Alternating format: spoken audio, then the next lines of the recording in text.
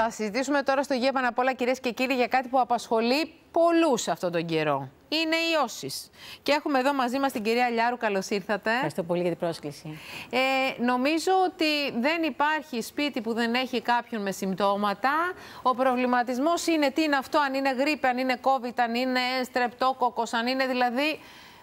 Το βιώνετε και εσείς στην καθημερινότητα. Βρισκόμαστε σε μια κορύφωση τώρα των Ναι. εποχικών λοιμόξεων, γιατί ε, μεταβάλλονται και οι καιρικέ συνθήκες. Ναι. Βλέπετε πότε έχουμε ζέστη, πότε έχουμε κρύο.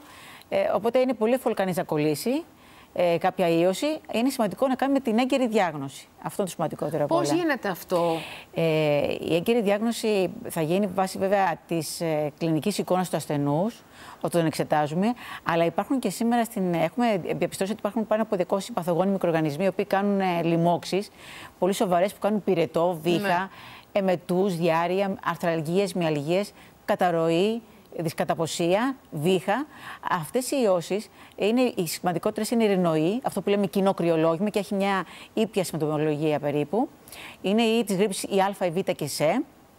Έχουμε πολλούς ιούς, όπως είναι η κοξάκι, ε, η έκοη, η παραεμφλουέντζα, η κορονοϊ βέβαια, αλλά και ο αναπνευστικός οικητιακός ιός.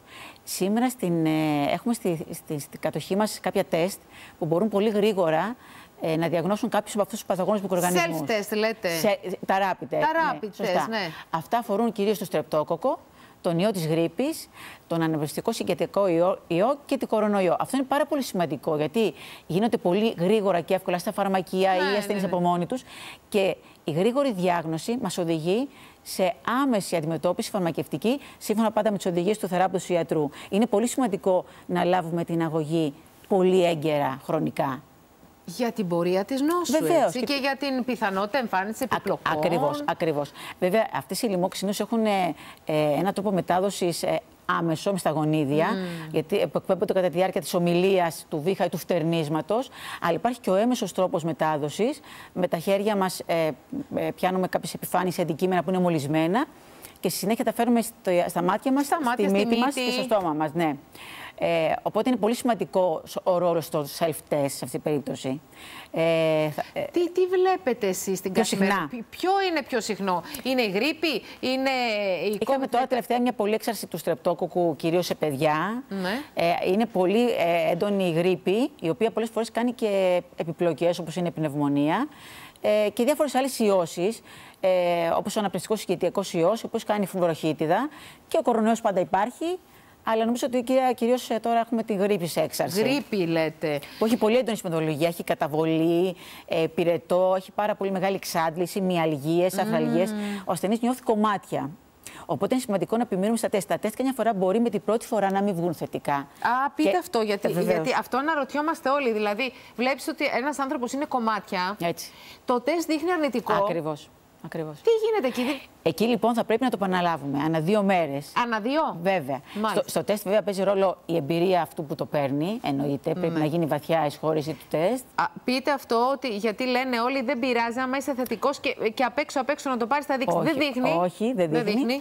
Αλλά καμιά φορά χρειάζεται και ε, ένα ή δύο ή τρία τεστ για να διαγνώσουμε το πρόβλημα. Ανά δύο μέρες. Βεβαίως, Επανάληψη. ανά δύο Όχι την μέρες. επ- ίσως και την επ- Εντάξει, μπορεί. ανά δύο είναι το πιο σωστό. Ναι, ναι. Είναι πάρα πολύ σημαντικό να ξεκινήσουμε την αγωγή, ειδικά την αντιοική.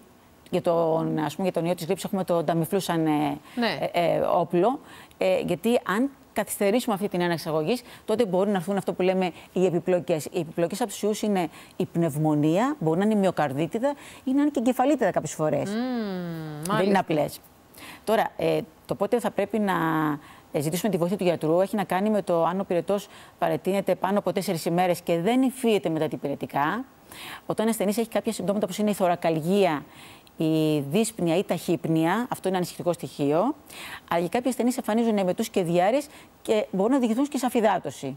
Ε, υπάρχουν και νευρολογικά συμπτώματα όπως είναι σύγχυση, Α, διαταραχές καλά. προσανατολισμού, ζάλι, στου ηλικιωμένου περισσότερο. Ε, αυτά τα καταλαβαίνουμε ότι είναι σοβαρά. Άρα, ε, ε, ε, η, η καλύτερη, η- μια καλή τακτική όταν είμαστε άρρωστοι να μετράμε το οξυγόνο στο αίμα μας καθημερινά; Ε, θα το μετρήσουμε όταν ε, έχουμε συμπτώματα, όταν έχουμε δύσπνοια, όταν έχουμε θωρακαλγία. Θα μπορούσαμε να το μετρήσουμε, αλλά και το κυριότερο είναι να μιλήσουμε με τον για- γιατρό μας, να δώσουμε το στίγμα μας τι συμπτώματα έχουμε και εκείνος να μας καθοδηγήσει το τι πρέπει να κάνουμε. Γιατί ε, τώρα υπάρχουν πάρα πολλές ιώσεις και πολλοί ασθενείς ζητάνε αντιβιωτική θεραπεία. Αυτό είναι Μα, ε, τεράστιο άλλη λάθος. παρανόηση μεγάλη αυτή Τεράστιο που λένε λάθος. εγώ παίρνω κάθε φορά και μου περνάει. Δεν είναι έτσι, πείτε τα σας παρακαλώ. Νιώθουν μια ψυχολογική ασφάλεια, θα το έλεγα, αλλά είναι μεγάλο λάθος γιατί δεν προσφέρει τίποτα και ίσως και να χάνουμε το θεραπευτικό ε, αποτέλεσμα ε, μιας πραγματικά αντιοική θεραπείας. Έχει μεγάλη σημασία αυτό. Σωστό, σωστό. Καλά κάνετε και το διευκρινίζετε. Και θέλω να σας ευχαριστήσω πολύ γιατί δώσετε πολύτιμες συμβουλές που τις έχουμε ανάγκη. Και έχουμε πολύ, πολύ παρανόηση και πολλούς μύθους σε σχέση με τις ιώσεις. Τα διευκρινίσατε όμως. Και βέβαια, σε, θα ήθελα να σας πω ότι έχει μεγάλη σημασία να θωρακίζουμε τον οργανισμό μας σωστά. Ε, και αυτό έχει να κάνει με την καλή φυσική κατάσταση. Ναι. Πρέπει δηλαδή να έχουμε σωματική άσκηση, καλή ώρα αυτά που λέγαμε πριν, ε, να, να, έχουμε, πολύ- να πίνουμε πολλά νερά, να ξεκουραζόμαστε, να έχουμε ένα καλό ποιοτικό ύπνο, να, να μην καπνίζουμε. Και το σημαντικότερο είναι να δια- διαχειριζόμαστε πολύ σωστά το στρες, το άγχος μας. Αχ, α, μεγάλη Και, κουβέντα είπατε. ε, θα ήθελα να σας πω και ότι είναι πολύ σημαντικό να έχουμε μια ισορροπημένη διατροφή. Σωστό, η σωστό. διατροφή, δηλαδή βιταμίνη C που έχουμε στα φρούτα και στα λαχανικά, η βιταμίνη Α, η Ευχαριστώ. βιταμίνη Ε και τα χνοστοιχεία μας. Κυρία Λιάρου, ευχαριστώ πάρα πολύ. είστε καλά. Να είστε καλά. Καλή Ευχαριστώ και συνέχεια εγώ. σας Να είστε εύχομαι. καλά. Καλή δύναμη. Γεια σας. Κυρίες και κύριοι, η εκπομπή μας